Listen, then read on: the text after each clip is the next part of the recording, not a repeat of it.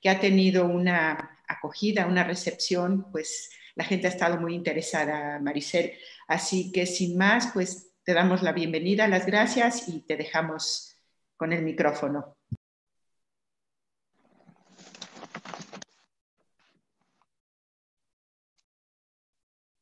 Profe, no, no se le escucha. Buenas noches, eh, qué alegría otra vez estar aquí con ustedes compartiendo. Eh, agradezco mucho por la, por la participación, veo aquí rostros conocidos que hace tiempo no, no veía, como Isabelita, también nos está acompañando Lucy de, de Argentina, gracias. Y bueno, entonces eh, yo quiero compartir pantalla para comenzar entonces este trabajo eh, claro, que voy a presentar aquí.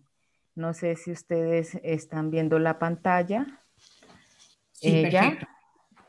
Ok, listo. Vamos a ver si se presenta la, la pantalla completa.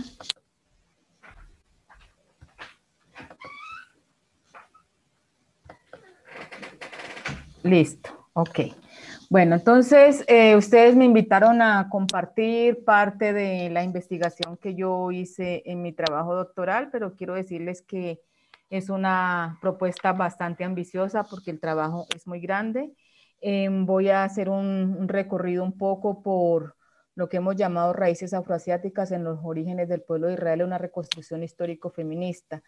La idea es eh, pues mirar un poco eh, el componente afroasiático en la Biblia, eh, que realmente creo que hay una deuda histórica muy grande con el continente africano. Y justamente en ese intento de resarcir esa deuda, yo quiero presentar un poquito este trabajo a partir de seis puntitos que voy a trabajar, ¿no? El primero, mirar un poco el silencio y la negación de las culturas africanas en la historia. Segundo, una reconstrucción de una conciencia cultural africana. Tercero, vamos a mirar una iconografía eh, del Egipto faraónico para ver de qué es que estamos hablando un poco.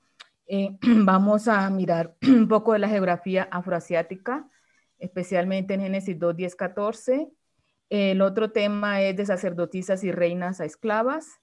Y finalmente, mm, el tema de raíces afroasiáticas y descolonización, porque todo este proceso, toda esta lectura, eh, de alguna manera, se está, eh, va a la, a la, casa con los estudios eh, decoloniales que se hacen, ¿no?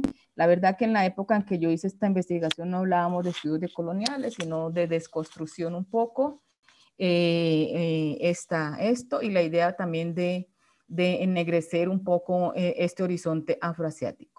Entonces vamos a hacer un, breve pasado por el silencio justamente de eh, estas culturas. Vamos a mirar el silencio y la negación de las culturas africanas en la historia. El primero eh, es el texto de la maldición de Can. Entonces vamos a mirar cómo en el siglo XVI leían ese texto, ¿no? El texto dice entonces, maldito sea Canaán, siervo de siervos, será a tus hermanos. No sé si ustedes se acuerdan, entonces son los hijos de, ah, son los hijos de Noé. Entonces la historia nos, son los hijos de, ay, perdón.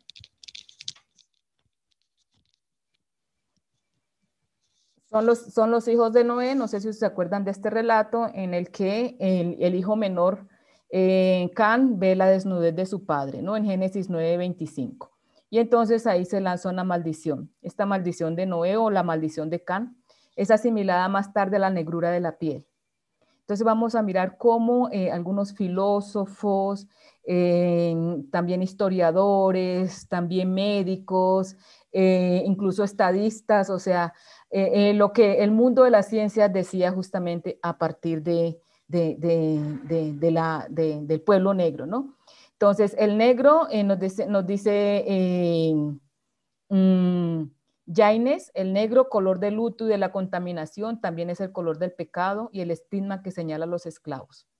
Richard Jobson eh, también sostenía que el tamaño enorme del miembro viril de los negros, prueba infalible de que eran del linaje de Canaán, quien por haberse eh, puesto al descubierto la desnudez de su padre, había recibido una maldición en esta parte del cuerpo. Entonces, esos son los que nosotros llamamos también textos de terror que eh, sirvieron justamente para legitimar la esclavitud de los negros, ¿no? Entonces los negros son esclavos. Más tarde, eh, ¿no pasa? Ah, sí. Más tarde, en los siglos XVII, 17 a 19 nos decían que era una especie humana diferente.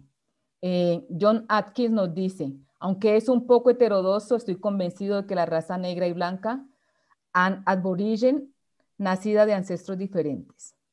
Voltaire también eh, opinaba que eh, representa un gran problema respecto a ellos, los africanos, saber si descienden del mono o si el mono desciende de ellos.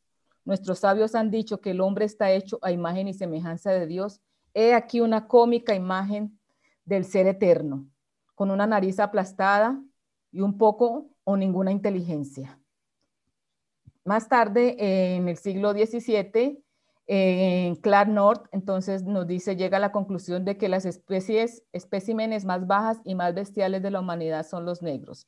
La actitud del público y justamente cuando estaban en museos y zoológicos, entonces era uno de los temas más sorprendentes. Muchos visitantes arrojaban alimentos, chucherías a los grupos que se exhibían, comentaban las fisonomías, comparándolas con los primates, retornando con ello uno de los tópicos de la antropología física, ávida a sacar a la luz los caracteres simiescos de los indígenas, o riéndose abiertamente viendo a una africana enferma eh, temblequeando en su choza.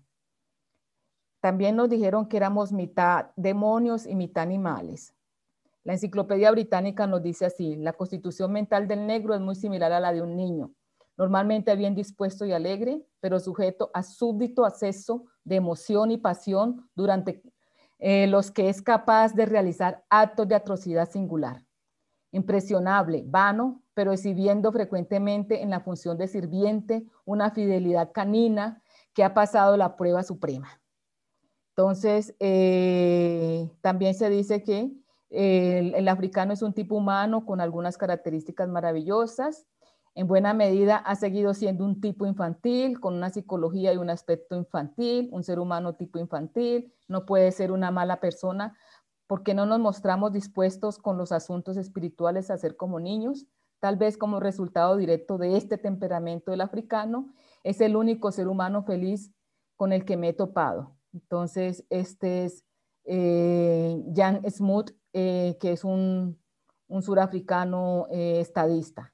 Después nos dicen que éramos sin civilización y sin historia, también esta era una de las cuestiones. Ninguna de las razas negras, ya se trate de negros o, o australianos, ha mostrado en el tiempo histórico la capacidad de desarrollar civilización.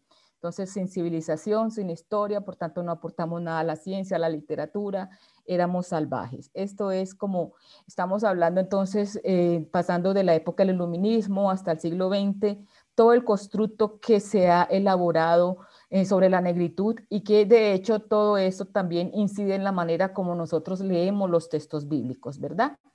Eh, la construcción de la conciencia africana se da en 1898 a partir del movimiento Rastafari cuando Menelik II entonces eh, eh, lucha contra las tropas de Mussolini y entonces se extiende todo un movimiento de volver a África, ¿no? que es el movimiento Rastafari, eh, que para mí fue uno de los movimientos de protesta, fue uno de los movimientos que anteceden a la teología de la liberación, porque fue un movimiento que evocó justamente por, por, por los negros como pobres, mucho antes de que se desarrollara entonces la teología de la liberación.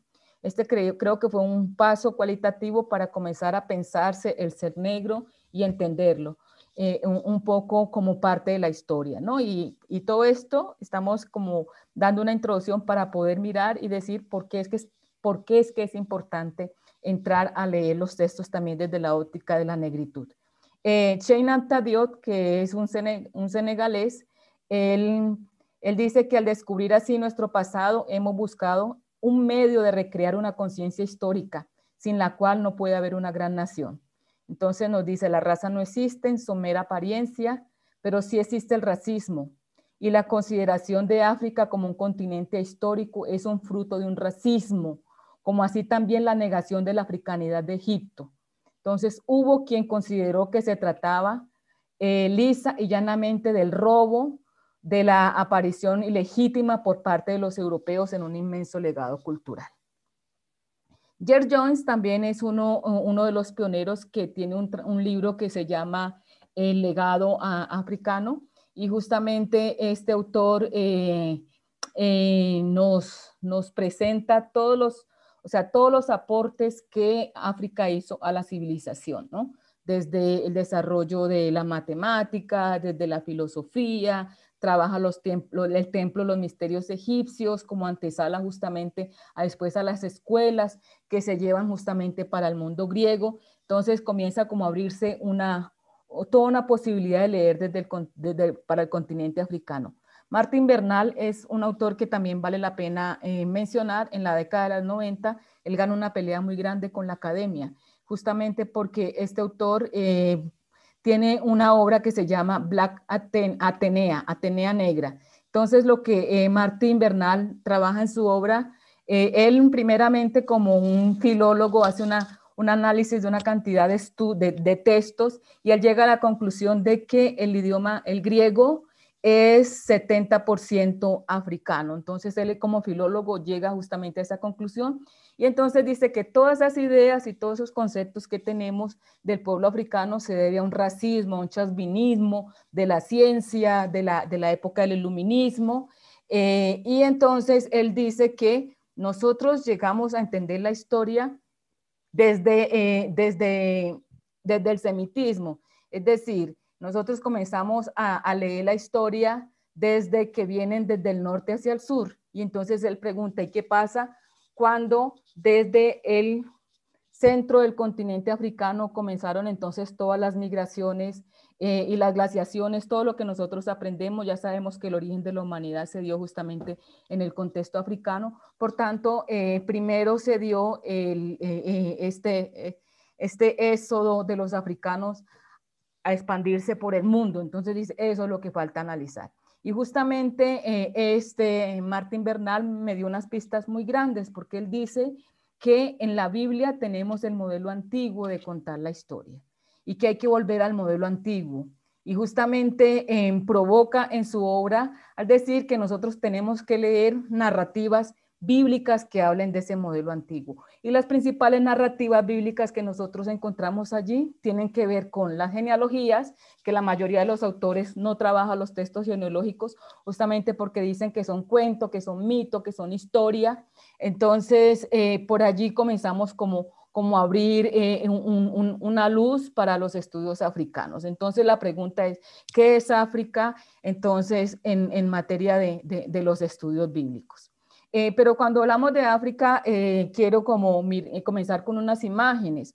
Esta es una imagen de Nefertiti que encontramos en el Museo del Cairo, una mujer un poco más estilizada. La imagen que normalmente nosotros tenemos es la que Hollywood nos presenta, pero en, en Amarna, en, en Tel Amarna, se descubrieron otras imágenes que nos identifican a Nefertiti como una mujer con, rasgos, con rasgos mucho más negroides, ¿sí? Entonces uno se pregunta y uno dice, la arqueología también es positivista y la arqueología y los hallazgos que a veces fueron tomados fuera de contexto contribuyen o siguen la línea de esa negación de la negrura del continente africano y la negación de la negrura de Egipto. Entonces aquí tenemos a, Nefertiti, algunas imágenes eh, de Nefertiti y la más antigua es esta una, como una mujer vieja que aparece, que fue encontrada en Tela Marna. Eh, esta es Anakenaton, es, es, otra figura de Anakenaton, que era el, compañero también de, de Nefertiti, eh, eh, también, como vemos, con rasgos bastante negroides. Aquí tenemos la princesa Meritate o Hatshepsut, que es la prima de Nefertiti, entonces parece ser que está orgullosa de su negritud.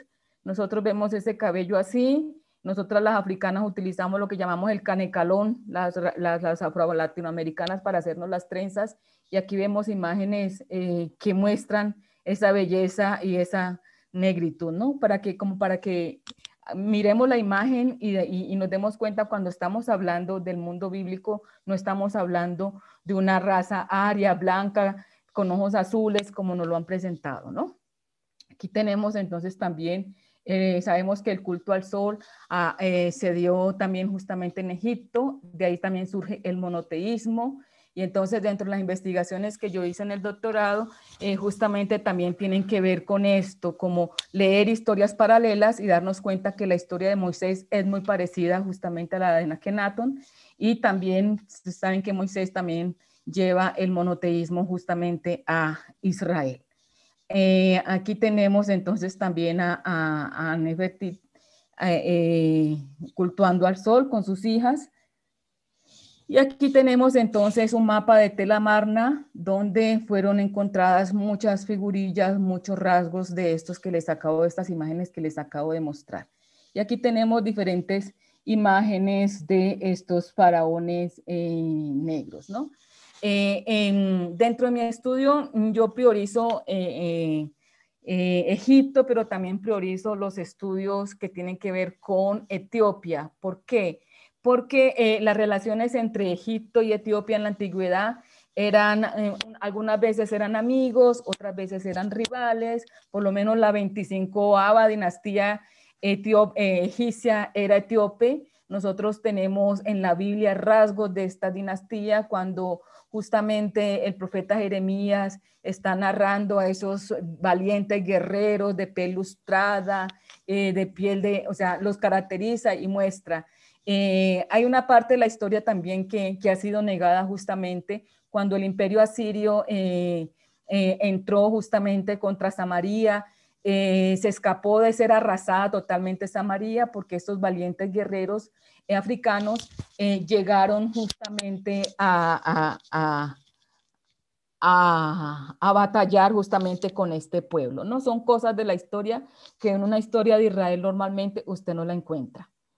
Eh, entonces, eh, miramos la geografía afroasiática. Yo tenía aquí algunos textos, sé que no vamos a alcanzar a leer. Eh, retomamos solamente Génesis 2, 10, 14. Génesis 10, 14 nos dice que del Edén salían cuatro ríos, ¿verdad?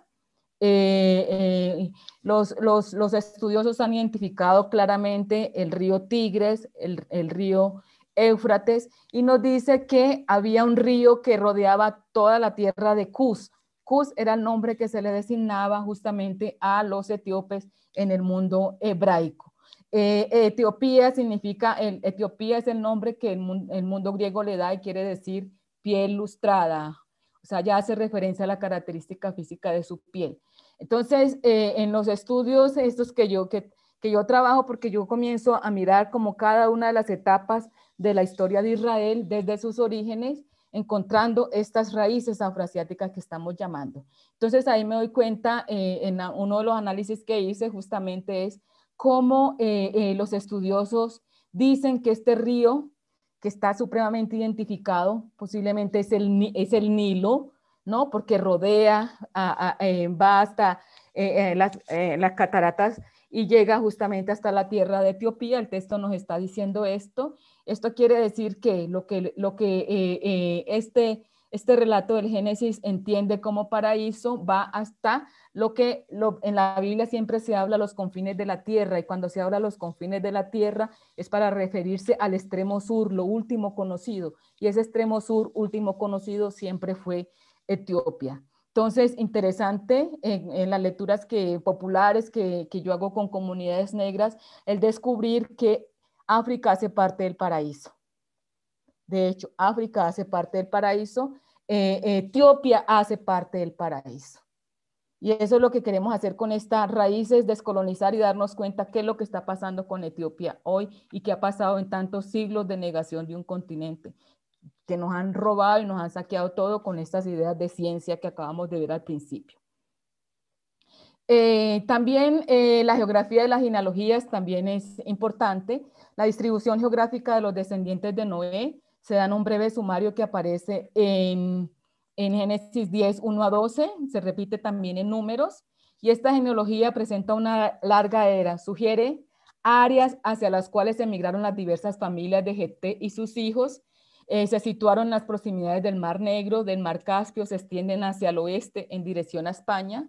También aparece, pues muy verosímil con el mundo griego, con el mundo indogermánico, eh, eh, esta, esta familia. Pero también aparece los descendientes de Can, eh, que estos descendientes entonces están hacia África. Qué pena que no nos da tiempo para leer los textos. Entonces aparece en Génesis 10, 6, 14, subsecuentemente, subsecuentemente eh, se expanden hacia el norte, hacia las tierras de Sinar, hacia Siria, entonces de Can, de Canaán, eh, ahorita vamos a mirar el mapa donde ubicamos, eh, se da el poblamiento según estas genealogías, de Sinar, de Asiria, construyen ciudades tales como Nínive, Calat, Bebel, Babel, Akkad y otras. Nos dice que de allí viene entonces Minrón, que es el, pa, eh, eh, ya sabemos la historia de Minrón, que es el, el más fuerte, pero eh, es, su familia es Canita, de Can. El cuarto hijo de Can se establece a lo largo del Mediterráneo, se extiende hasta Sidón y Gaza, hacia el este. Aunque camita de origen racial, los cananeos utilizaron una lengua muy emparentada también con los semitas. Can y sus descendientes ocuparon las áreas, de, hecho, eh, eh, estas lenguas todas siempre se llaman de origen afroasiático, todas estas lenguas son afroasiáticas. Can y sus descendientes ocuparon el área del norte del Golfo Pérsico, Elán, Asur, Arán y otros nombres de ciudades eh, asociados a los semitas. Después de 2000 años, tales ciudades como Mari y Nahor se hicieron centros sobresalientes de cultura semita. Eso es lo que estamos llamando volver al mundo antiguo porque siempre nos han contado la historia como los grandes civilizadores, eh, eh, los babilónicos. Pero hay un antes a ese mundo babilónico que es justamente y lo que esta genealogía nos está mostrando. Entonces nos dicen que Can, en esas genealogías, es el papá de Misraín, de Egipto, de Cus, eh, de Évila, y entonces ellos también llegaron acá a, a, a, Ramá, a Seba, Saptá, entonces se va, aparece acá, se va, aparece al otro lado. Eh, eh, eh, el reino de Saba anteriormente, de hecho, ocupaba estas dos, porque el paso aquí por este canal del juez era, era, era, era muy fácil de hacerse esta conexión, y entonces el reino de Saba ocupaba toda esta franja. ¿Y por qué hablo del reino de Saba? Porque ahorita les voy a hablar un poquito de la reina de Saba, ¿no? que es eh, otro eje cuando vamos a mirar de reinas a esclavas, el punto que vamos a mirar. Y así sucesivamente, Can es el padre de Canaán. Quiere decir que los camitas, los africanos, eh, poblaron también esta parte. Eh, la historia tiende a desafricanizar a Egipto, a decir que no, porque nos cuentan la historia del norte hacia el sur y no del sur hacia el norte. No sé si me están entendiendo como lo que, lo que les quiero presentar.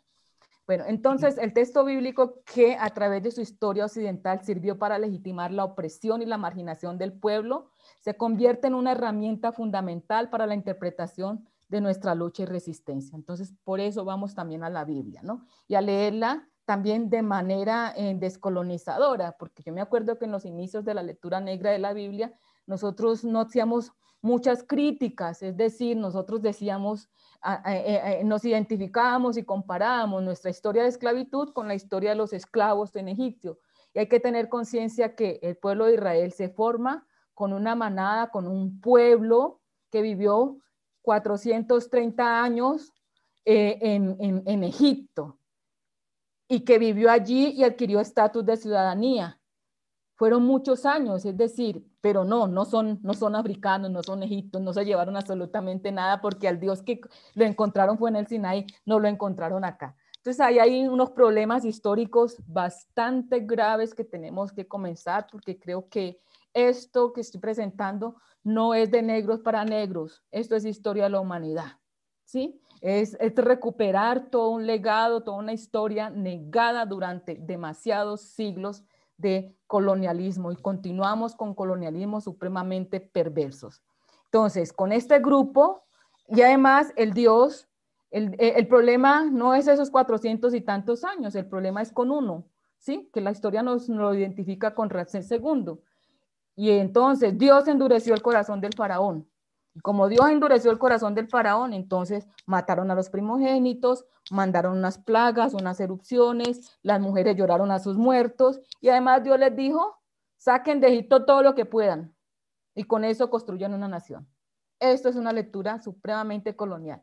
Y en lectura popular de la Biblia que nosotros hemos hecho, yo me acuerdo una vez una mujer me dijo, eh, eh, ese Dios es malo y, no quiere a los negros. Digo, ¿por qué? Mire lo que está haciendo, porque antes nos identificamos, no así como sufrimos, no, es que la religión se formó con el robo del continente africano y fue así. ¿sí? Y además nos negaron dentro de esta historia. Entonces, eh, lo vemos como procesos de liberación.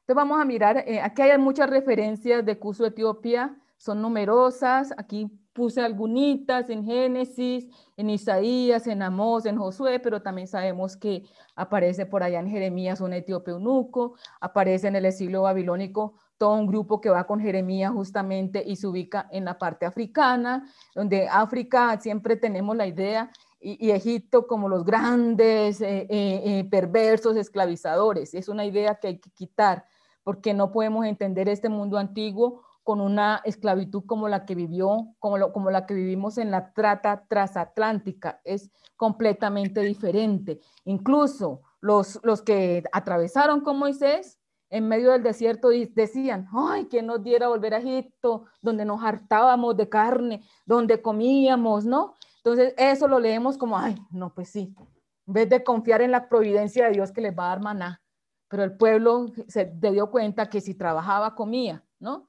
Es decir, es, es, otro tipo de modelo.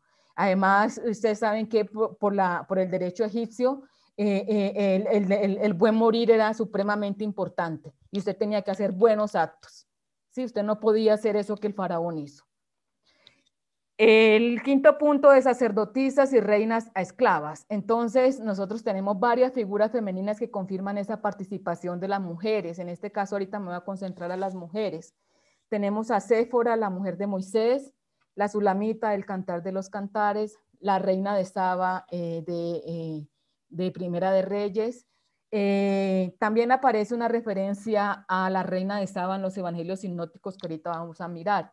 La reina Candace. Aquí tomé algunas mujeres paradigmáticas porque estas mujeres se convierten en referencias a la hora de hacer una lectura liberadora de estos cuerpos. Pero obvio, ojo, la lectura que nosotros hacemos del contexto afroasiático no es solamente sacar mujeres, sino darnos cuenta que Israel bíblico se forma con un potencial cultural, eh, social, eh, eh, africano muy grande. solamente por decirles eso, ¿no? Los estudiosos del Antiguo Testamento dicen que las tribus que se forman, las tribus de Israel, corresponden al modelo, eh, el modelo eh, de la casta de la India. La casta de la India son cerrados. Usted nace dentro de esa casta, muere dentro de esa casta.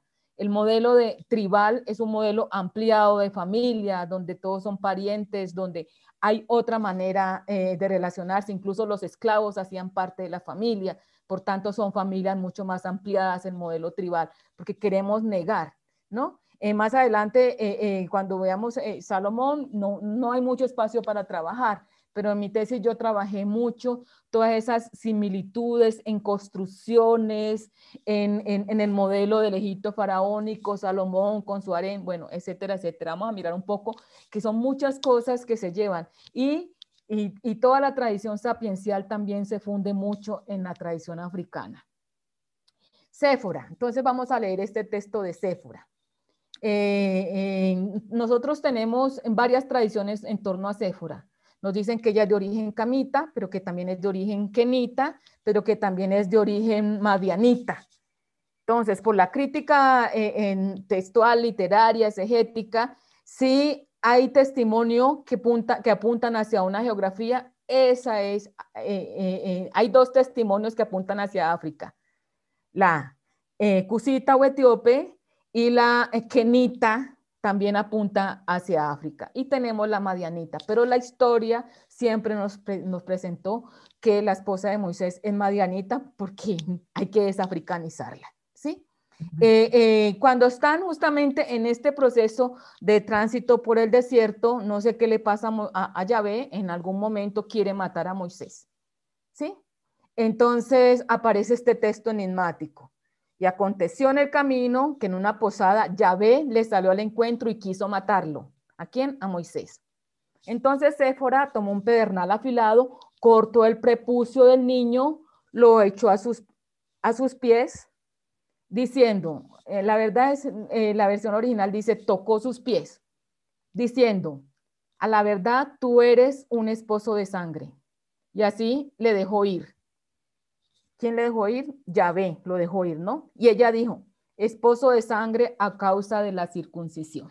Entonces, este texto cortito, la mayoría de los autores dicen, no, es una glosa posterior, es un texto incomprensible, no le damos el valor, está allí, no se sabe por qué, pero para mí este es un texto teológico, en el sentido que es un texto que está introduciendo en Israel la práctica de la circuncisión.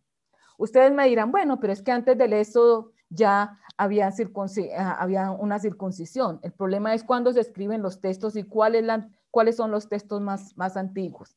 Este es uno de los textos más antiguos que nosotros tenemos, que podemos ubicar justamente, eh, eh, eh, sí, mucho más antiguo, no sé, antes del siglo X, podríamos decir, porque estamos todavía en la era de, de piedra, todavía no estamos en la era de hierro. Es decir, ella toma una piedra filuda y con eso corta el prepucio de su hijo. Es decir, no coge un cuchillo, no coge nada, sino que coge una piedra, sí.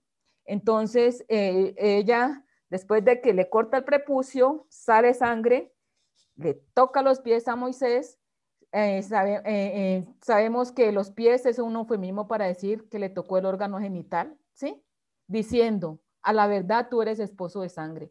Ella hizo un damberit, que es un pacto de sangre, ¿sí? Un pacto de sangre. Y con ese pacto de sangre, Séfora lo está introduciendo dentro de su fe. Y le dijo, ahora tú eres esposo a causa de la circuncisión, ¿sí? Esa circuncisión recuerda que no la podía hacer sino un mujer, es decir, un sacerdote dotado, eh, eh, un hombre digno. Y aquí nosotros vemos una mujer haciendo las veces de sacerdotisa. Es la única mujer que hace la circuncisión porque es una actividad para los varones y ahí ella está haciéndola. Pero los textos nos dicen, no, que eh, Moisés aprendió de Yahvé con su suegro Reuel y no con Séfora, ¿sí? Y posiblemente la reiciña y la pelea que se da entre Ana y Séfora tiene que ver por cuestiones de poder y de lideranza religiosa entre estas mujeres. Es posible, ¿no? Los textos racistas y las lecturas racistas nos dicen que eh, eh, Ana, eh, allá en, en, ¿cuál es el texto? Es 11, número 11 creo. entonces nos dicen que ahí el problema es que estaba peleando por, por el color de la piel de la otra, ¿no? Entonces colocan cuestiones racistas donde no lo existe, ¿no? Y además a, Ana, la hermana de, Moisés, la castigan con lepra un tiempo y uno se pregunta por qué lepra, por qué la ponen blanca como la nieve. Eh, no sé, ahí hay, hay muchas preguntas, pero sospecho yo que el problema tiene más que ver con liderazgo religioso. Entonces, me atrevo a decir que eh, el yavismo llegó a Israel por causa de una mujer etíope, De una mujer etíope, de su esposa que introduce lo más sagrado del el judaísmo, que es justamente la circuncisión. Con esto yo me hago judío. ¿Ok? Eh, además, eh, ¿qué les digo? Eh, investigaciones arqueológicas han demostrado que el nombre de Yahvé ya existía en Egipto, ¿verdad? Habían inscripciones que ya, ya, ya el Yahvé era, era conocido también en Egipto y, ya tenían también esa práctica monoteísta. Eh, Séfora, podría ser Séfora, hay que darles colores también, ¿no? Porque nosotros no, le damos ni color, ni sabor, ni nada de eso. Y entonces en la Biblia hay eso, hay texturas, hay olores, hay sabores, y ahí entonces tenemos a ella. La otra que aparece es la tsunamita, que la mayoría de, los, de las Biblias, incluso esta que tengo aquí, nos dicen, soy morena pero preciosa, o hijas de Jerusalén, como las tiendas de Sedad, como las cortinas de Salomón. Cuando vamos a hacer la lectura, a, cotejar con el hebreo, nos dicen que dice, soy negra y hermosa. No dice pero. Esa preposición pero es muy diferente a la conjunción y hermosa, no tiene nada que ver. Entonces, cuando interpretan y leen esto, entonces dice, ah, sí, eh, eh, justamente eh, mm, como, lo, como la interpreta aquí Orígenes. perdonen que está en portugués, dice, negra por la ignominia de la raza, pero hermosa por la penitencia y por la fe. Negra por el pecado, pero hermosa por la, por la penitencia y por los frutos de la penitencia. Ella que es negra no es así por, la, por naturaleza, ni fue así creada por el Creador, sino que sufrió una situación, esta situación accidentalmente. Entonces, esta es una cita de orígenes, eh, los apologistas que leen justamente eso. Ese pero da esa idea de estas interpretaciones racistas que no son solamente de a partir del siglo XVI, sino que ya cargamos durante muchos años un estigma contra el pueblo negro y también específicamente contra las mujeres negras. Eh, yo, yo, traje muchas cosas y creo que no voy a alcanzar. Eh, nosotros comenzamos un poquito más tarde. ¿Cómo estamos de tiempo? Estamos perfecto, Maricel. Tú vete tranquila, sí. Ok.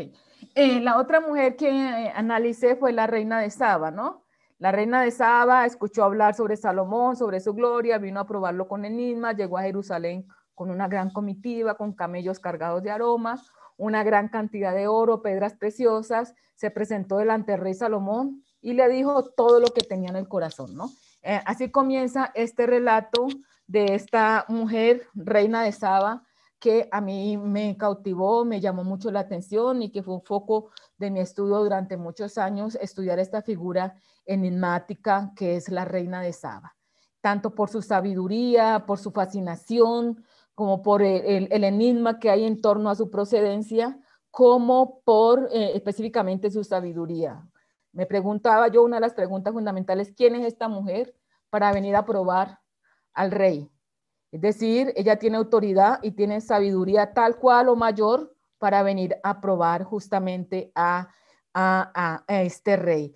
Y eh, la mayoría de las feministas no les gusta este texto porque el texto al final parece ser que ella se rinde al rey Salomón, ¿no? Se rinde a los placeres del rey Salomón. Entonces, pues, ¿cómo esta mujer nos puede liberar y nos va a traer cosas? Pero bueno, eh, eh, hay que estudiar las mujeres en toda su complejidad. Me encuentro aquí con una mujer que yo asumo como negra, pero también llama la atención que es una mujer que aparece en la iconografía y en todas las épocas eh, eh, aparece en tanto en, el judaísmo como en el cristianismo, en el Alcorán, también en las tradiciones del libro, aparece esta reina de Saba. Entonces, ¿quién es esta reina de Saba? ¿no? ¿Quién es ella? ¿Y por qué está pasando así? ¿Y por qué siempre nos hablan que hasta el Nuevo Testamento los sabios que vienen de estas regiones, o sea, es un, continente ya conocido eh, eh, eh, por, por, su sabiduría, un país conocido por su sabiduría. Entonces me dirán, Saba, la localizan en el Yemen, pero como vimos en el mapa, el reino de Saba está ubicado entre los dos lados. Fueron encontrados restos de la reina de, de, palacios similares al de Salomón, tanto en la parte del Yemen como en la parte acá africana, ¿no? llama mucho la atención porque porque es un, modelo de construcción también eh, egipcio que fue llevado para, para Israel. Eh, nos dicen entonces en Primera de Reyes, se narra, eh, esta reina de Saba es identificada con Madeca, una reina del siglo X antes de Cristo. Entonces ahí se visita, se narra esa visita del rey Salomón, donde recibió todos estos presentes. Y entonces la, la, tradición de Etiopía, entonces nos cuenta que eh, Salomón, eh, el rey Salomón eh, y la reina de Saba parece que tuvieron una, una cuestión erótica. El texto cuando habla de, pie se refiere al órgano sexual, pero también interesante que ahí en esa narrativa nos dice que Salomón le dio todo también con su mano parece ser que la mano también es un eufemismo para decir alguna cosa. El hecho es que en la iglesia etíope se dice que de esta unión salió, salió, salió Menilek. Ahora ustedes van a eh, eh, hacer la relación con ese Menilek que están hablando el movimiento Rastafari, ¿no? Que es la descendencia de Salomón y la reina de Saba y que el judaísmo más antiguo, también de los más antiguos que nosotros tenemos, lo encontramos justamente en Etiopía. En Etiopía entonces se encontraron eh, los grupos de el grupo de los falachas. ¿Y quiénes son los falachas? Los judíos negros de Abisinia, ¿sí? Y esos judíos negros de Abisinia que tenían justamente eh, un judaísmo muy parecido a aquel judaísmo que se desarrollaba en el desierto, donde se iban con el arca de la alianza de un lado para otro. De hecho, hoy todo el mundo anda buscando dónde está el arca de la alianza y parece ser que está en Etiopía. La, historia de Etiopía entonces nos dice que cuando el hijo Menilek se hizo más adolescente, llegó a Jerusalén nuevamente a buscar a su papá y le dijo, bueno, nosotros ya, ya somos judíos y tenemos todo. Nos falta el arca de la alianza. Y el papá le dijo, bueno, listo, pero tú no te la puedes llevar, ¿cómo te ocurre? Entonces le hizo una réplica. Pero entonces cuando Salomón se descuida, Menilek se fue con el arca verdadera. Y hasta hoy eh, en, Etiopía está, eh, o sea, parece que todo el mundo sabe, pero nadie sabe dónde está el arca de la alianza, porque es lo más sagrado y ellos no abren mano de esto. Todavía está, pero Occidente dice que eso es un mito, ¿sí? Que justamente eh, lo que le estaban, por lo que yo les hablé de Martín Bernal, Martín Bernal ganó una pelea, pero demasiado grande, uno, uno no se pregunta por qué tanto silencio en América Latina sobre este autor y todo lo que hizo, porque él decía, confunde mito con historia, ¿no? Como que si el mundo bíblico no, había, no se hubiese fundamentado también en mitos. Bueno, em, eh, entonces eh, hay indicios que eh, esta reina de Saba es Madeca. Entonces nos dicen que cuando el príncipe también volvió de un viaje comercial a Israel, trajo información sobre la sabiduría del rey Salomón y a Madeca le fascinó lo que le contaron sobre el monarca de Judea y preparó una caravana cargada de regalos para visitar a semejante personaje. Al encontrarse el rey y la reina se enamoraron mutuamente, quedaron ella, quedó ella admirada con los conocimientos de él, de su inteligencia y su hermosura y la, y su hermosura y la hermosura de Madeca. Y según la tradición etíope, entonces de ese amor nació Menilek, con quien daría comienzo a la más larga dinastía real que se, que se desarrolló allá en Etiopía.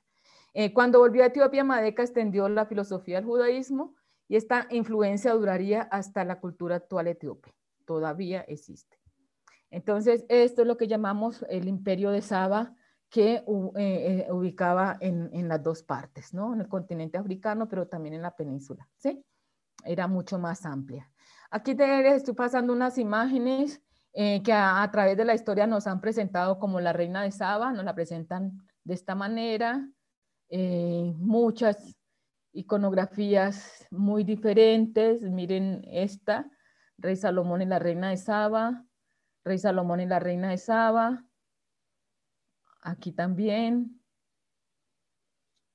La reina de Saba. Yo me preguntaba, ¿y por qué esta reina es presentada? Aquí fue cuando fue al cine. De, colores tan diversos. Esta es la pintura que se encuentra en la iglesia etíope, que es Salomón y la reina de Saba. ¿sí? Estas son las figuritas que aparecen allá. Pero como son mito, nos quedamos con las del Renacimiento, con las figuras blanquitas. Todas estas imágenes son de la reina de Saba. Con diferentes formas, diferentes colores, diferentes cuerpos. Allí la tenemos. El Quebranagas, que es la gloria de, los reyes de Etiopía, que es un texto sagrado de los, de los rastafaris, la Gloria de los Reyes también es considerado como este libro más sagrado y aquí es donde los jamaiquinos eh, creen y predicen que el último rey etíope era el dios encarnado, ¿no? Que era este Menilek. Documentaba el linaje de los monarcas etíopes, quienes se dicen descendientes directamente de Menilek, el hijo del rey Salomón de Israel, y la reina etíope Maqueda, también conocida como la reina de Saba. También cuenta la historia de cómo el arca de la alianza fue llevada a Israel de Israel a Etiopía y cómo los etíopes se convierten en el nuevo pueblo elegido de Dios. Pues aquí tenemos estas imágenes, estas coloriditas también son de la iglesia etíope con su séquito. Este reino habría sido fundado más o menos en el 1500 antes de Cristo, ¿no?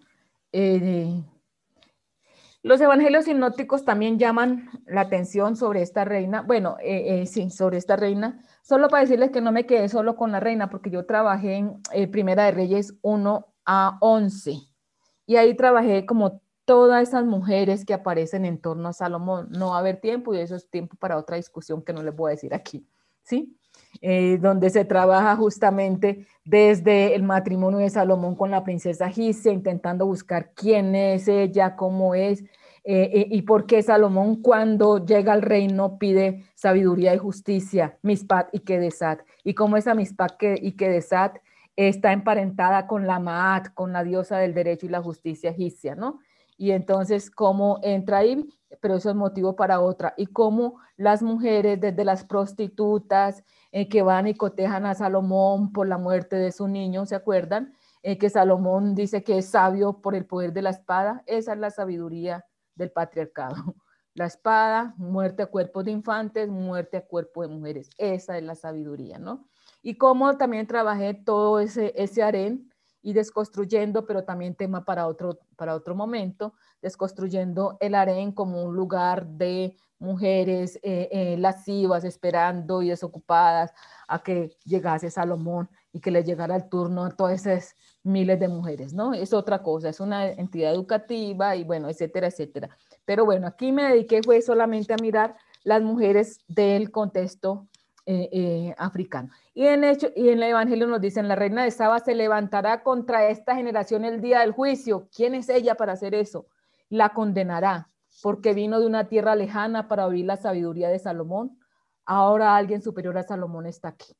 Es un texto eh, escatológico para presentar a Jesús y ahí está, entra dentro de la tradición cristiana también. Después tenemos a Candace, que es la reina de los etíopes. Este texto es bien interesante porque eh, mis estudios de las raíces afroasiáticas comenzó justamente con este texto, ¿no? Eh, primero encontrándome con un etíope eunuco eh, que va a Jerusalén a adorar, que venía leyendo la escritura y que se encuentra entonces con Felipe y que le pregunta de quién está hablando la escritura y el texto que leía era, como oveja fue llevado al matadero, como un cordero mudo delante del que lo tosquila. Eh, él no abre su boca en su, humillación, eh, fue callado. La mayoría de las lecturas latinoamericanas, ¿saben qué dice? Que ese texto que leía Isaías estaba prediciendo lo que siglos después iba a pasar con los negros esclavos. ¿Sí? Como ovejas al matadero, como no sé cuántas. Entonces dice, los humillados, los castrados, los sin voz, ellos también reciben el reino de los cielos, entonces esos son los africanos porque les interesa más vernos en esa condición de humillados, de callados, de castrados. Mientras que el texto nos está revelando otras cosas. Primero, que, que viene de un país, de un linaje de reinas, ¿sí? segundo, que es un ministro que está a cargo de todo el tesoro. Tercero, que viene de la sinagoga, por tanto, el, e, e, ese eunuco que le adjudicaron a ella, a él es más un visir, que quiere decir un primer ministro, porque si fuese un eunuco no venía de la sinagoga, porque es castrado. Y el judaísmo tiene todas esas acciones con quienes tienen justamente un defecto físico. Entonces venía de la sinagoga, por tanto era un judío. Eh, eh, eh, venía en su carro leyendo, por tanto tenía quien le, quien le manejara el carro, ¿sí? Venía posiblemente de una, una, misión comercial y entonces entra. Y el texto al final nos dice que el, el el etíope, después de ser bautizado, sigue alegremente su camino. Es la continuidad de la iglesia cristiana etíope, que también es muy antigua. Pero que la lectura blanca occidental nos dice que no, que el cristianismo llegó a Etiopía, por, el, cristianismo ortodoxo. Es decir, no estuvimos ni siquiera ya en, en este texto y mucho menos en Pentecostés. Es una negación demasiado grande para este pueblo. Aquí tenemos alguna imagen de esta eh, eh, eh, esta, la reina de Saba se identifica con una reina nubiana. El título que tenían era Las Candaces, era como un título de un linaje. Esta es una imagen de ella. entonces, Candace de Meroe, Meroe era su reino, se refiere entonces a una mujer y se repite durante una larga época. Se sabe que Candace detuvo a Alejandro Magno en su avance por el Valle del Nilo. Siglos más tarde su nombre es mencionado en los Hechos de los Apóstoles por Felipe, que vivió durante el siglo I. Estrabón en el siglo 63 eh, antes de Cristo al 21 después de Cristo habla de Candace, una reina em, que se sublevó contra los romanos y fue sometida eh, por ellos. En uno de estos textos que yo consulté decían, venía un demonio porque en una de estas incursiones de, una Candace le sacaron un ojo. Entonces el diablo, ¿no? Es el, es, es el diablo que viene. Y vamos a mirar cómo se lee también en algún texto eh, eh, eh, apócrifo que vamos a mirar cuáles son las imágenes que se van a estar estableciendo contra ella.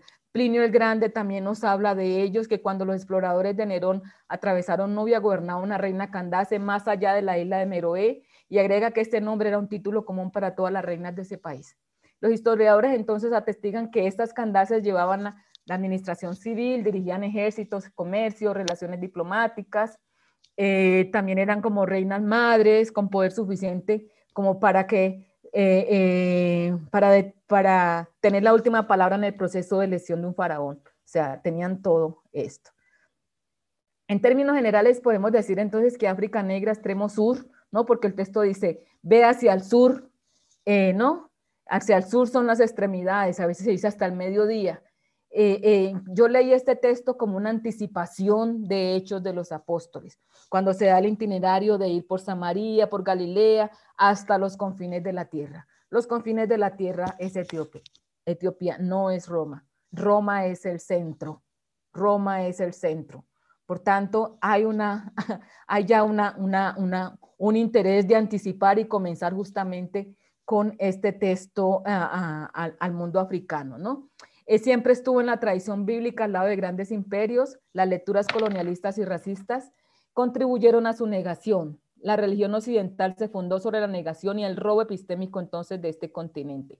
Nuestras interpretaciones no se limitan tan solo en la afirmación de que la fe universal de Yahvé, eh, concretizada en Jesús, incluye a los marginados, oprimidos, castados, representados en el etíope. Nuestra lectura quiere decir, y cuando yo leí todos esos textos desde Heródoto, Plinio, nos presentaban un país con una riqueza, con avestruz, piedras preciosas. Además, en, aliada, en, Homero nos cuentan que cuando Poseidón se cansaba de las cosas duras de su reino, se iba para la tierra de los etíopes, donde había una mesa del sol poniente con comida para todos. Y entonces allá los hombres y las mujeres copulaban libremente y no sé cuánto, y se dedicaban al festín y al relajamiento, pero esa, esa comida esa era, era lo que abundaba. Y ahí entonces contrastamos con estas imágenes actuales de Etiopía que estamos viendo ahora, donde los niños se mueren y los buitres están ahí esperando para coger su presa. Es terrible y hay que tener en cuenta esto, hay que mirar para África. En esta pandemia hay que mirar para África, gente. Hay que mirar para África.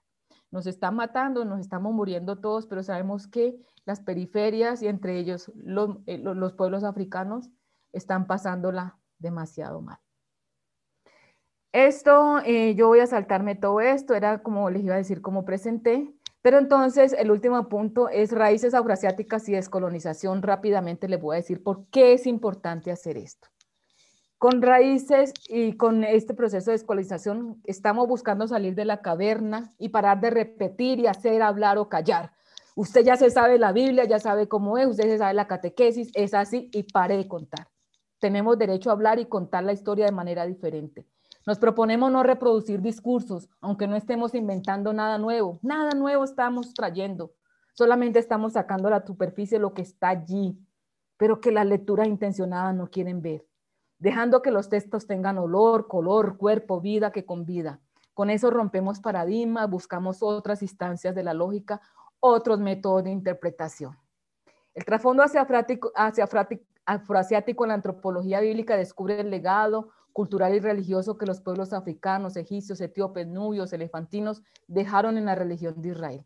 Revisa la tradición bíblica y descubre que los pueblos del horizonte afroasiático dejaron un legado importante. Reconoce que existe un mundo mediterráneo, pero que también existe un mundo atlántico que cambia el foco eurocéntrico de contar la historia. Asume que la génesis del pueblo de Israel viene de, tradiciones africanas, especialmente a partir de su experiencia de más de 450 años en Egipto y con relación a sus fronteras subsaharianas. Estudia personajes fundantes de la tradición, quienes se confrontaron en relación a las alianzas matrimoniales con, con estos pueblos. Tal es el caso de Moisés, el gran patriarca israelita, que además de ser educado en el seno de la cultura egipcia, toma por esposa a una mujer etíope o de José, quien se casa con una sacerdotisa egipcia, Asená. También el escenario bíblico incluye una geografía africana, como lo vemos en, en Génesis 2.10, donde uno de los ríos del Edén circula las tierras de Etiopía. reconoce que la naturalización de la idea de que el mundo antiguo era esencialmente caucasoide, es basado en un proceso de racialización que tiene sus raíces en los conceptos de superioridad europea que surgieron en la época de la colonización americana y se consolida en la ilustración. Revisa las cartografías de exclusión. Así nos preguntamos, ¿hasta cuándo nuestros ojos mm, van a tener... Em, ¿Hasta cuándo nuestros ojos van a tener en cuenta el hambre de Etiopía actual y en la diáspora afroamericana? En estas líneas clamamos entonces por un futuro negro, bonito e inclusivo de nuestras teologías, en la teología académica de nuestras iglesias. Gracias. Ay, Maricel, cada vez que te escuchamos, desde luego nos dejas eh, tantas ganas de frena, frena, frena, por favor, vamos a los textos, vamos a disfrutarlo lentamente, poco a poco. Y, yo creo que ni así terminaríamos de, analizarlo en tan poco tiempo que, no, que tenemos, ¿no? Me quedo con muchísima inquietud de seguir ahondando en esto, desde luego, para, para continuar con este harem o las mujeres de Salomón, para un siguiente programa, pero también me quedo con una inquietud muy grande y con un dolor, dolor muy fuerte de, de cómo hemos vivido y cómo hemos recibido la catequesis, como tú dices, con un blanco y negro, con una perspectiva eh, muy naif, muy, muy lusa, muy, muy sin cuestionar, ¿no? Y ahora que te escuchamos, eh, vemos que, qué dolor, qué dolor hay encerrado ahí en esta cerrazón y en esta manera de reinterpretar prácticamente a, través de, Occidente o de Roma, ¿no? Todo, todo la Biblia y eh, eh, los evangelios y demás. Entonces, Uf, a mí verdaderamente, Maricel, me dejas eh, mucha tarea por investigar, por leer. Fui aquí escribiendo los textos rápidamente, ¿no? Aunque los vamos a tener en el video, pero vale la pena profundizar en cada uno de ellos y, y, ojalá que tengamos oportunidad de volver, de volver a platicar sobre este tema. Eh, no sé, Marisa, si tienes tú alguna pregunta, pero seguramente nos estaba enseñando Pilar eh, una escultura. Pilar, si quieres prender tu micrófono y platicarle a, a de dónde es.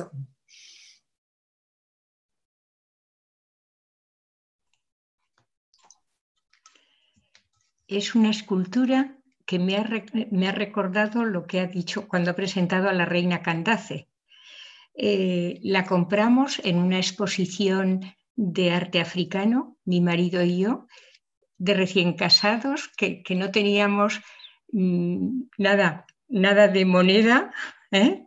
partimos de, nuestro trabajo y de prácticamente de cero, y, nos llamó la atención y, y nos la, sabíamos que era para nosotros, y lleva pues, pues 50 años con nosotros aquí en nuestro salón y ahora al ponerle el nombre, ¿eh? yo, mm, Marisel, voy a, voy a quererla mucho más de lo que para mí significa la raza negra, porque mi marido y yo íbamos a ir a trabajar, él era un seminarista de los padres blancos, los misioneros de Nuestra Señora de África, y yo eh, estudiaba para enfermera y con la idea de África. Y, yo he podido ir a trabajar al Chad. Entonces me parece, mm, bueno, la compramos con, esa, con ese amor a, nuestro, a nuestra África y, ahora que le he puesto nombre, pues mucho más. Mañana cuando se lo cuente a mi marido, estoy emocionada ¿eh? de haberte oído y de haber y de haber visto todo el daño que os hemos hecho, ¿eh? todo lo que os hemos robado, todo lo que os hemos ocultado y todo lo que me atrevo a pedirte perdón y a darte las gracias. Gracias, Pilar. Me vas a poner sentimental, yo soy muy llorona y, estas cosas son muy viscerales para mí.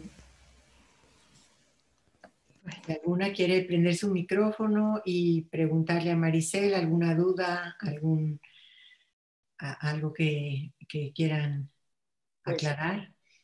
yo también es un comentario, cuestión. Interrogantes nos dejamos, Maricel. Este, te agradezco muchísimo esta plática, de verdad sí nos han em, emocionado y bueno, y ahora con la retroalimentación y las palabras de Pilar. Y eso, ¿cómo, cómo nos hemos comprado la historia? ¿Cómo eh, ha estado tan sesgada con una intencionalidad y la hemos, hemos estado acostumbradas a verla de una manera unilateral? En mi caso, sin cuestionamiento, como decías tú, así es y así, y así es, ¿no? No te atrevías a cuestionar. Qué maravilla del poder escuchar este, interpretaciones como la tuya, de construir y realmente abrir y ampliar nuestra mirada para, para ver que la historia contada tiene muchas más caras de las que creemos. Todo este, esto, estos antecedentes borrados, es, este, gracias por rescatarlos y, y pues traerlos a la vida y, de verdad, como dice Andrea, nos dejas mucha tarea para investigar y para ir más a las raíces. Gracias, Maricel. Parece que por aquí hay manos levantadas, así que se... Eh, buenas noches. Agradezco la, la clase magistral que hoy tuve porque nos enseña a ver la vida desde otra perspectiva, desde otra interpretación y no solo la que nos enseñaron y la que nos creímos porque dijeron que esa era la verdad y visto desde una posición muy dogmática. Eso nos abre la mente y nos induce a seguir investigando y a, ir a los textos que ahorita nos acaba de citar. Gracias porque fue una clase magistral y a mí me dejó mucha enseñanza. Gracias, Vilma. Vilma, tan bonita. Yo también quiero agradecerte, Maricel, de veras maravillosa clase, maravillosa clase y se ves además lo orgullosa que estás de ser negra y, lo expresas y vaya, no nos queda otra más que investigar más porque, eh, como dijo Pilar, tenemos de qué eh, disculparnos, de qué disculparnos y gracias a ti empieza uno a decir, oye, ¿a poco la reina de Saba venía de Etiopía? ¿A poco eh, vaya, el etíope lo dice su nombre y, lo lee uno como si nada. Y claro, pues si era etíope tenía que venir de Etiopía. Felicidades, Maricel. De veras se ve el orgullo que tienes y eso es maravilloso. Gracias, Tenemos un... quiero algo, quiero contar algo. Puedo desde Argentina. A ver. A ver, Lucía. Eh, eh, decir con vergüenza o con una, con, una autocrítica muy fuerte como Argentina, que nosotros nos creemos los blancos del continente en muchos casos y eh, rechazamos eh, ser latinoamericanos en muchos aspectos. Y uno de los temas que, que desconocemos es nuestras raíces asiáticas. Esto porque eh, los africanos que llegaron a Argentina, Argentina, eh, Buenos Aires, cuando venían era un puerto de entrada, pero pasaban los, los esclavos, un puerto de entrada que pasaban rápidamente hacia Perú o hacia otros lugares. Entonces, por un lado quedaban pocos en la tierra argentina, pero además los que quedaron después murieron muchísimos en la guerra del, de la Triple Alianza con Paraguay los mandaron, eran carne de cañón, que fueron los que mandaron primeros en la guerra, y entonces eh, eh, supuestamente quedaron muchos, quedaron pocos negros de raza realmente eh, negra en, en Argentina. Pero ahora, desde hace unas décadas, estamos redescubriendo nuestras raíces negras. Y es interesante todos los estudios que se están haciendo sobre eso, y el orgullo con que mucha gente en Argentina está haciendo esos estudios. Por eso me alegra enormemente, pero sigo diciendo el racismo en Argentina es impresionante, impresionante. No sé en otros países eh, latinoamericanos, pero esto que vos decís, Maricel, el, lo de el texto del de cantar negra soy, pero hermosa, ese pero que es, eh, que está equivocado y hermosa, Eh, yo lo experimento muchísimo con, con, mi hija mayor, que es muy, eh, muy eh, negra, de, de, tez muy, muy, oscura. Y me acuerdo recién nacida cuando venían a, a mis amigas y me decían, es negrita pero es hermosa. A mí no me entraba en la cabeza, no me entraba, era como decir, no sé, le falta un brazo, pero es hermosa, o es, eh, no sé qué, ¿no? Eh, eh, y digo eso, bueno, también puede ser bellísima una persona que le falta el brazo, pero digo, no sé qué, qué, qué entraba en la cabeza. Ahí descubrí con mi hija el racismo en Argentina, tremendo. lo quería compartir porque digo, gracias a Dios hay, hay muchos cambios, pero también sigue habiendo tremendamente el racismo y decimos por portación de rostro hay montones de injusticias acá, los chicos a los que, a los que toman presos simplemente por portación de rostro, porque tienen tez más oscura. Eh, bueno, lo que dice Rita Segato, ¿cuál es el color de la cárcel? ¿No? Eh, es, es eso. Gracias, Maricel, muchísimas gracias. Y también me alegra enormemente que estés orgullosa de ser negra, que lo digas, porque además son muy bellos. en serio. Gracias, Lucía. Yo sé que estás haciendo un esfuerzo enorme porque en Argentina tenemos tres horas, cuatro de México, mira. Ustedes pueden imaginar. No sé si hay alguien más que quiera participar. Sherry. Ay, Sherry. Sí, gracias. Maricel, he estado leyendo ya hace un rato uh, tus trabajos y no sabes el gusto que me da poder poner cara, y voz a todos esos uh, escritos tan fabulosos. Yo era estudiante en los Estados Unidos en los años 60 y con todas las revoluciones de, derechos y, um, uh, y de todo eso siempre me ha llamado la atención um, el rol de uh, las mujeres negras en la teología, el desarrollo de teología en los Estados Unidos. Pero con tus presentaciones ah, da una perspectiva, como dice las personas de dos mil años más, sino más de esto, es que eh, da otra perspectiva de la vida. Muchísimas gracias.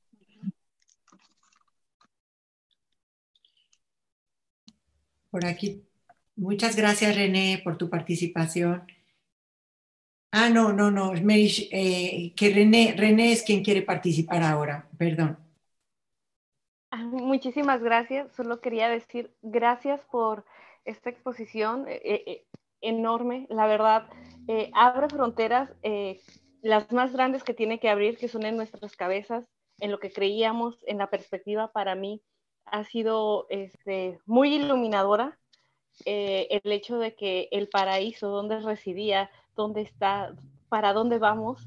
Entonces, el construirnos, pensarnos, bueno, de construirnos, pensarnos y ver otras realidades y ver otras realidades que al menos para mí hasta el momento eh, estaban ocultas a pesar de haber e, eventualmente haber leído algo de teología negra e historia y todo esto, nada comparado con lo que acabamos de escuchar o lo que acabo de escuchar abre bastante la perspectiva y sobre todo abre una curiosidad por seguir aprendiendo, por seguir conociendo y por seguir en este camino. No sé, muchísimas gracias. Este, nada más que agradecer y pues esperemos seguir compartiendo un poquito más y conociendo más. Gracias. aquí en el chat escribió Oscar Janses una pregunta. No sé si quisiera Oscar, abrir el micrófono y hacerla directamente o prefiere que la lea o qué? No, yo la, yo la puedo leer. Bueno, eh, primero agradecerle a la profe Maricel por su eh, toda esta explicación que nos ha brindado. Eh, tengo que decir que antes de hacer la pregunta es una de las pocas mujeres que conozco que dentro del ámbito académico en el cual nosotros nos encontramos y que compartimos eh, se mantiene firme sus convicciones y que nos aporta una mirada distinta de la teología, una mirada distinta de aproximarnos a la Biblia.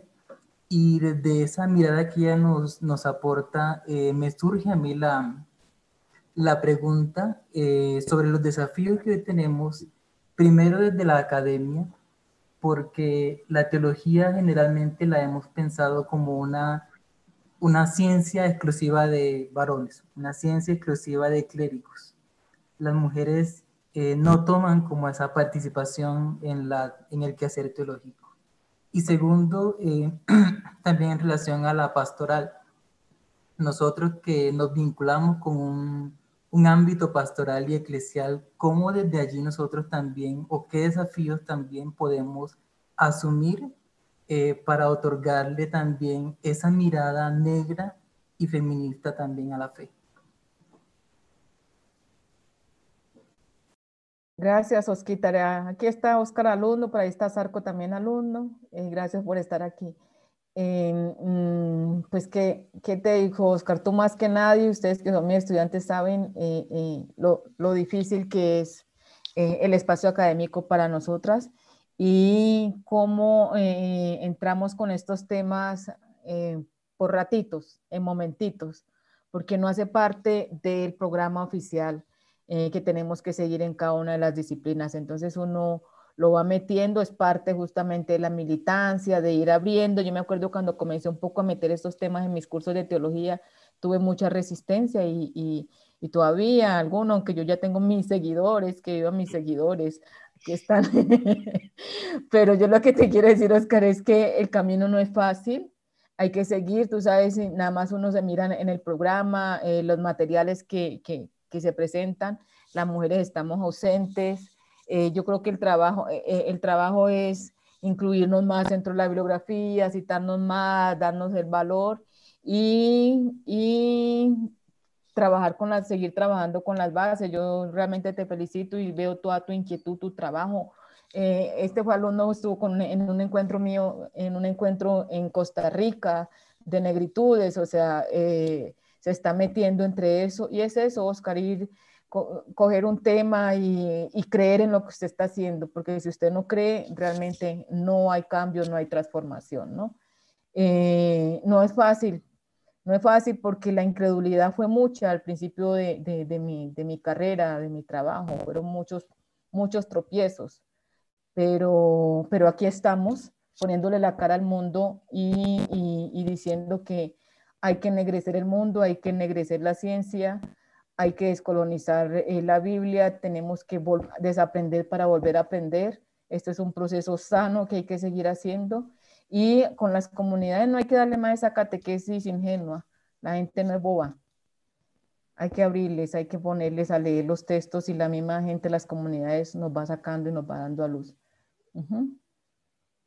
No sé, seguir en la lucha, Osquitar. No sé si hay alguna otra pregunta más. No.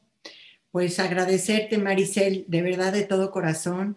Y como, dice, eh, como dicen, eh, realmente no nos queda más que echar la cabeza, pedir perdón por todo este olvido, por esta ingenuidad en la que hemos vivido, por esta eh, eh, no sé, me da rabia el pensar que, nos hemos tragado las cosas y las hemos recibido sin cuestionar, no somos una cultura que, cuestionemos, eh, pero a partir de ahora tenemos que empezar a ser críticos, críticos de todo, ¿no? Críticos de, nuestra lectura bíblica, críticas de las homilías, críticas de las imágenes, como nos mostraste, ¿no?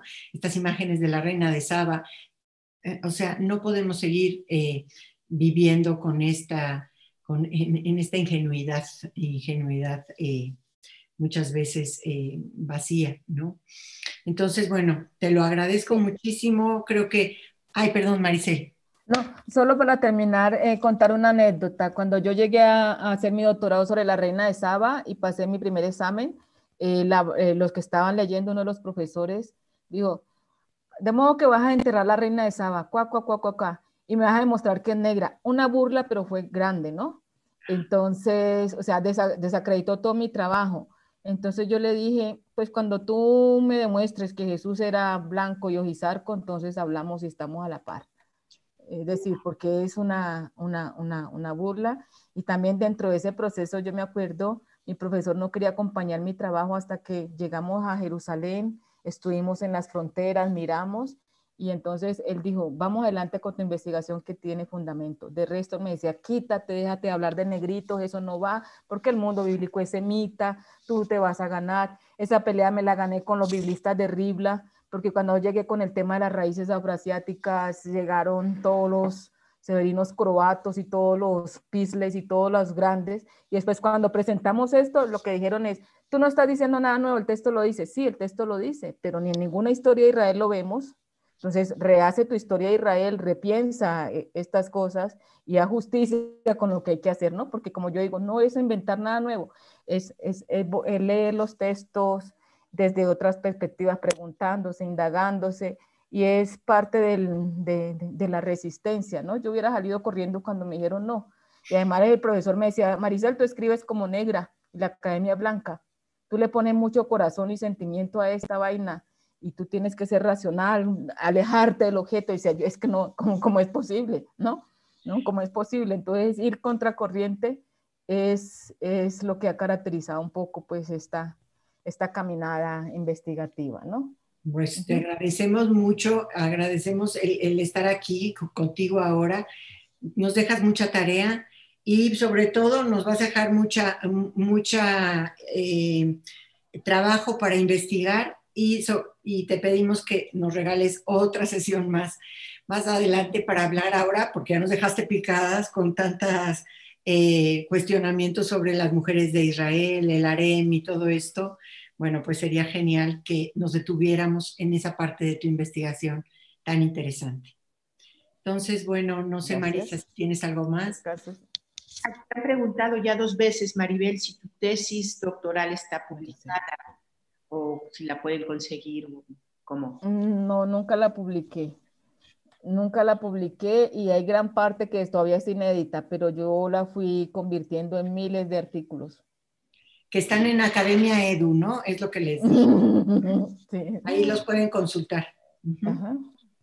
Bueno, pues agradecerles buena noche, que descansen las que están tan lejos y tan desveladas. Gracias. por participar. Maricel, un beso. Otro bueno.